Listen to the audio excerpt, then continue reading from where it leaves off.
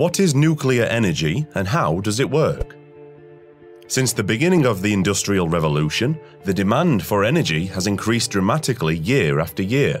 Today, the majority of this demand is met with the combustion of fossil fuels.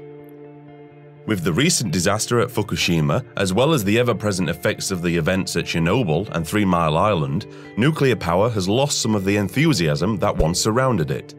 Because of the rising costs and harmful effects on the environment caused by fossil fuels, people are looking for ways to replace our dependence upon them. While renewables such as hydroelectric, solar, and wind energy have proven to be worthy replacements, they are still a ways off from meeting our needs. Nuclear, on the other hand, has all of the technology required to be used on a large scale. In the US, nuclear accounts for 21% of the electricity produced, whereas coal contributes 41%, natural gas 24%, renewables 12%, and petroleum only 1%. Despite the current level of adoption, there is still a great deal of misconception and fear surrounding nuclear energy. Now, let's see how most nuclear power plants actually work. First, you have the fuel, usually uranium, which must be mined, enriched, and then formed into pellets that are placed in rods within the reactor. The atoms of uranium undergo a controlled chain reaction which emits heat. Pressurized water around the reactor vessel is heated and circulated through pipes in a steam generator, which produces water vapor that spins a turbine attached to a generator. After leaving the turbine, the steam is condensed so that the cycle can continue. The benefits of using nuclear fuels are numerous the lack of carbon emissions, the ability to create huge amounts of energy, and the reliability of power production are all extremely important.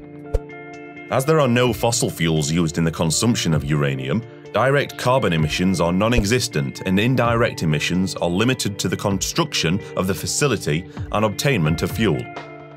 Unlike many renewable methods, nuclear plants do not depend on the conditions around them to function, which would make them perfect for the constant baseload of the electrical system. The main concerns surrounding nuclear energy are safety, waste management, and total expense. Contrary to popular belief, nuclear is among the safest sources of energy that is currently in use, Despite the seemingly huge impact reported by the media, there have been no deaths as a direct result of the meltdowns at either Fukushima or Three Mile Island.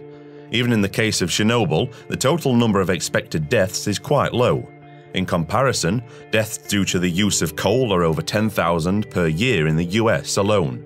However, deaths are not the only impact which an accident can have. They can force people out of their homes and change the land around them for a very long time.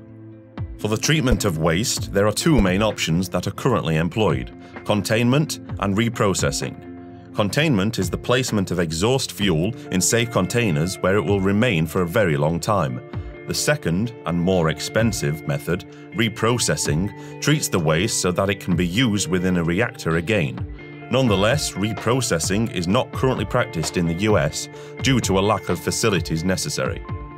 Furthermore, costs come mainly from the building and regulation of plants. These high initial costs can be mitigated by focusing on uprating current plants instead of building many new ones. Finally, technologies are being developed which can further decrease these disadvantages. So then, how can nuclear play into our energy future? Combined with renewable sources, nuclear allows us to enjoy our energy needs without the impact on our environment that is coupled with fossil fuels.